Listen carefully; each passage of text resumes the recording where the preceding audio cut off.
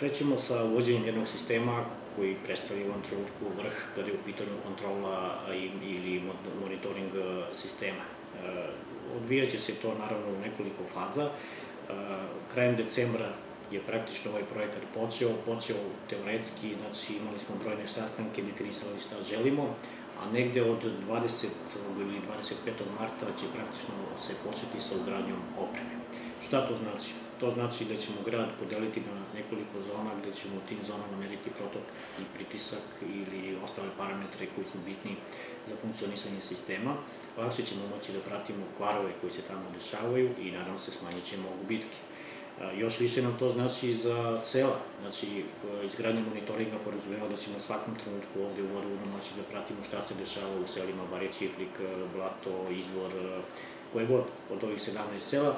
Znači pratit ćemo i tamo sve ove parametre plus hlorisanje i to daje jednu sigurnost u vodosnabdevanju kako za grad, tako i za sela. Mi, iskreno rečeno, dosta, dosta očekujemo od ovog projekta.